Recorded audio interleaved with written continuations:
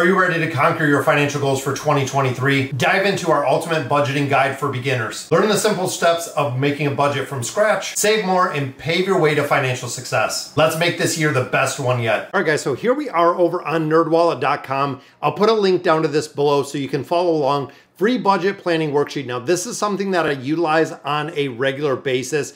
Once you get this all set using the 50 30 20 rule, you can actually download this yourself. Um, that way you do have it. It is editable and you can change it, guys. So budget planner, again, this is based on the 50, 30, 20 rule. We've talked about this quite a bit, but you have to create a budget that works for you. That is one of the absolute most important things, guys. So monthly budget worksheet on a monthly basis, coming in here and updating this. Now you can see, check all that applied. This is going to be very different depending on what stage of life you're in.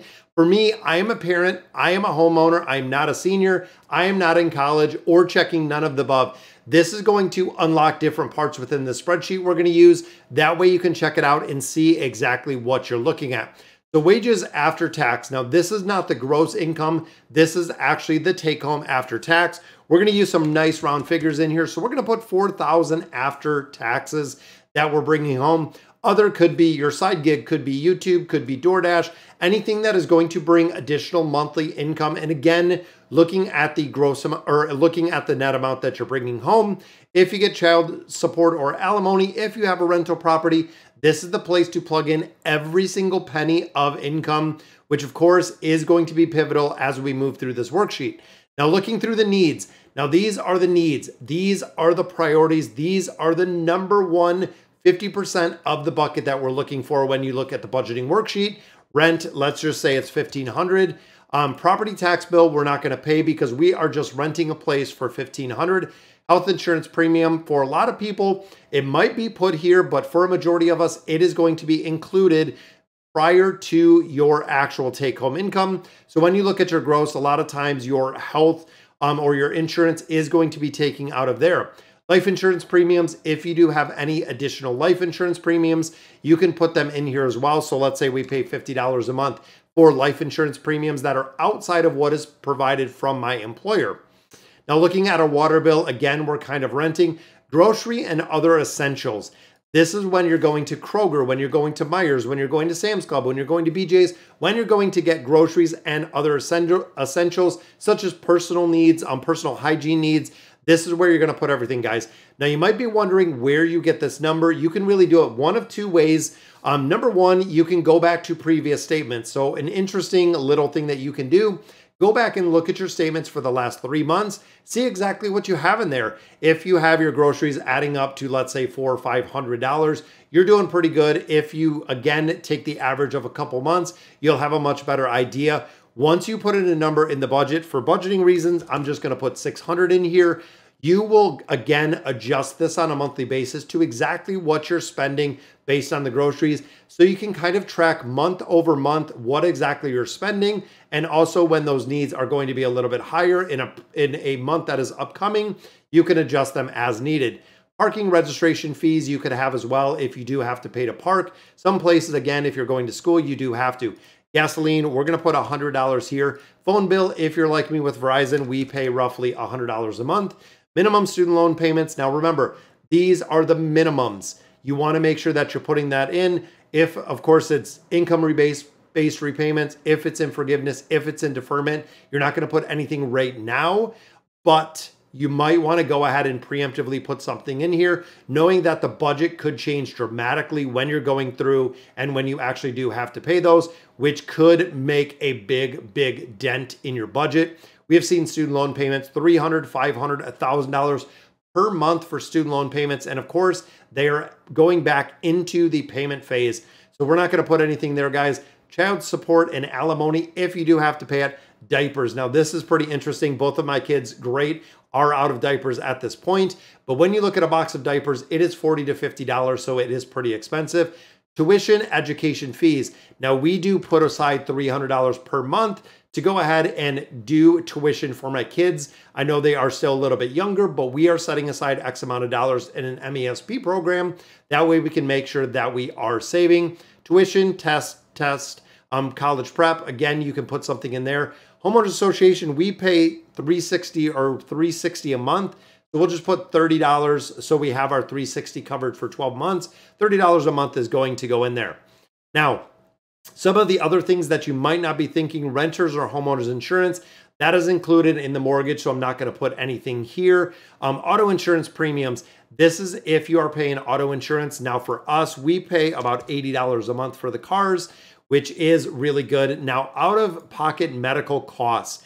Now, this could be mental medical costs, this could be dental costs. For me personally, I put $150 every single month into an HSA account. We do have a high deductible healthcare plan where I work, which means setting aside money for that HSA plan is going to make a difference, and we do need it built into the budget. Electricity, natural gas runs about 120 a month. Garbage, we pay $37, I think it is, um, $37 in total. Car payment for us is zero. Now, this is where it gets kind of interesting, guys.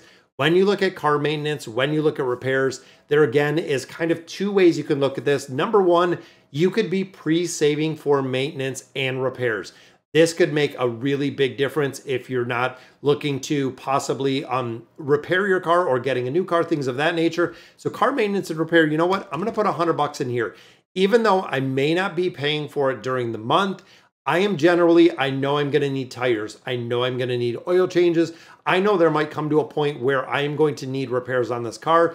If I'm budgeting it for a monthly basis, this is going to give me $1,200 per year towards maintenance and repairs, which again, we can kind of reallocate based on what exactly we're saving. Public transit, I do not have. Internet bill is $100 through Xfinity every single month. Minimum loan payments, we do not have any Nanny daycare costs, this is probably about $40. Bottles, other supplies, school supplies, home maintenance and repair. Again, similar to what we see for the car guys, we put $100 aside every single month. That is $1,200 aside every year, which means even though we may not have maintenance or repair at this point, if you look, let's say three years in the future, we have $3,600 set aside for the home maintenance and repair. When something does come up, we already have the money set aside, which makes a really big difference. And then other, of course, we're only going through the needs at this point, guys. Making an income of $4,000, you can see this is covering 3,400, which leaves us a couple hundred dollars. Again, this is where budgeting gets very, very interesting on exactly what you have, exactly what you can spend, and where you can make up the difference. Because again, as we scroll down a little bit further, we still have our 50 30 20 rule. 50% of our income should be going to our total um, necessities which of course for a majority of us if you're looking at a budget guys if this number is much higher that is again of our 4000 income you're talking almost the 50% of the 50 30 20 rule is going to rent which means theoretically we need a much cheaper place to live or we need to cut, out some of our other expenses because you're going to realize quickly within this budget, guys, that we are going to be very, very high over budget. Now, looking at clothing jewelry, again, this is a place where you might not be buying clothing and jewelry every single week. You might not be doing it every single month, but there is going to be a point where you're going to need clothing and jewelry similar to dining out similar to you know special meals at home movie tickets. This is where you can kind of adjust with the budget. So even here we have planet fitness. It's $20 a month cable streaming package. On average in the united states guys americans spend $207 on um, subscriptions every single month, which is kind of crazy. Looking at subscriptions, looking at cable services, looking at streaming. So when you add in Hulu, when you add in Disney, when you get um, you know, Netflix, we can say, let's say another $50 in there. Jewelry, we can just put in again, kind of playing around with a couple numbers. Concert, movie tickets. Set aside money for what you love to do. If every year I like to go to a concert, if once a month I like going to a movie, we can set 20 $20 aside for a movie every single month. Home decor, birthdays, furniture, again, you can kind of preemptively save money within your budgeting. That way you don't have to go through here and um, really upset or throw the budget out the window when anything really changes. The total spent was 110. And again, our budget is getting really, really tight, guys. As you can see down here, we're far outside of the norms on the needs and the wants. And then, of course, it comes to the debt repayment and the savings. 401k contributions, they're actually going in pre tax, which means the take home that we're using, the 4,000 take home that we're using, um, is already including the 401k or, or it is excluded in there. Emergency fund contributions, we're gonna put 20 bucks in here till we get our built up IRAs or individual retirement accounts we're not working about or worrying about right now because we are putting a significant amount into the 401k contributions, other investments, and then you get into the repayment phase, guys, which again, we're probably to have to go back, look at some of this budget, really break it down and see where we can cut and where we can save some of this money. Looking in here, again, getting into the credit card repayments, excess payments on student loans, excessive payments on the mortgage. This is above and beyond if you do have additional funds that are available. When it comes to the budgeting, again, a lot of part that gets squeezed is those exponential expenses where let's say a credit card payments, you're paying $150 a month towards a credit card. You're not moving the balance on there, unfortunately, very much at all. Student loan payments, we're just gonna stick with the not having the student loans. Excessive on the mortgage, paying down the principal. College savings, again, that's what we have for the savings for the kids which we can actually change the bucket that we have that because we're no longer putting the tuition and education fees and there it is going into our college savings, which brings us to a total of really not much at all, guys. You can see we're at 30, um, we're at what, 31, four, five, six. We're at about 3,800, which still again gives us kind of a leeway. Um, total to the 50, 30, 20 comparison, you can see the needs far exceed again because of rent. And again, I just use kind of the general rule because right here, just north of Detroit, Michigan, rent runs around 12 to 14 to $1,600. So I just kind of use the average of what we're seeing for apartment rent in the area, which again means these needs are going to have to be adjusted. We're going to have to see exactly where we can save money going through this budgeting. Now, Tracking your expenses are easy. Throw it away. You can put it out on paper. Also, like I said earlier, you can download the spreadsheet, guys, over on nerdwallet.com.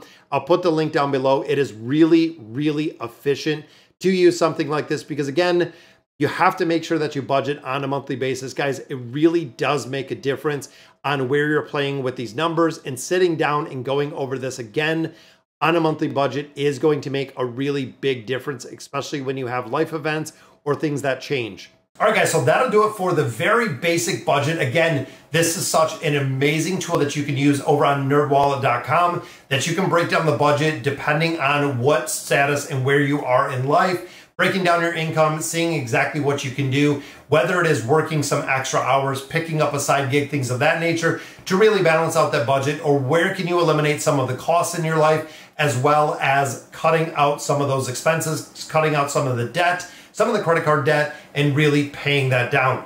Now, my challenge to you guys is go through your statements. You will be absolutely shocked. This is actually a practice that we used in my master's program when I did my finance. Um, they broke it down into a three month breakout. So what we did was we brought in three months of bank statements. We broke down every single thing into the budget that you see right here, breaking it into its own category, took the average and seeing exactly what goals we had financially, where we landed when it came to the budget itself, and how we can improve personally and professionally to really budget. Sorry guys, again, that'll do it for today's video. Let me know in the comments what you guys think, and as always, Thank you guys for watching.